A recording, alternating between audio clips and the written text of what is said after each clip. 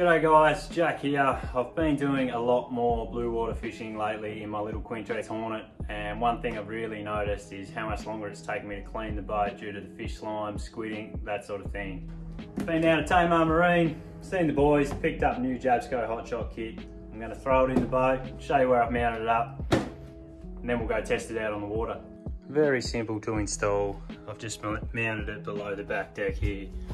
Got my one wire which goes to the negative terminal on my battery. Another wire which goes to the positive terminal on my battery via a switch on the dash. Got the hose that comes in from the back of the boat to pick up the water. And then I've got my discharge hose, which I've mounted.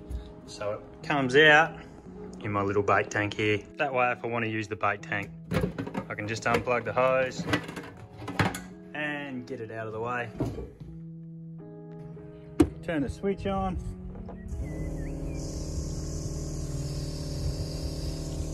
It's got quite a throw on it.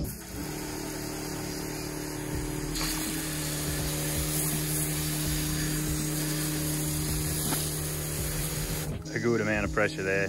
Probably throwing 10 or 12 meters out the back of the boat.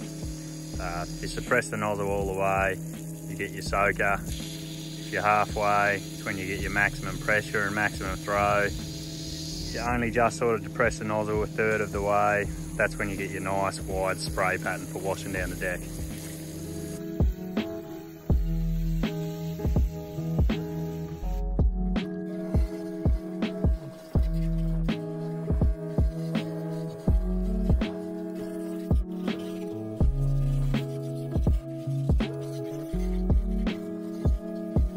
How handy is that? That's going to save a lot of time when I get home. Stop in, see the boys, check them out. Tamar Marine.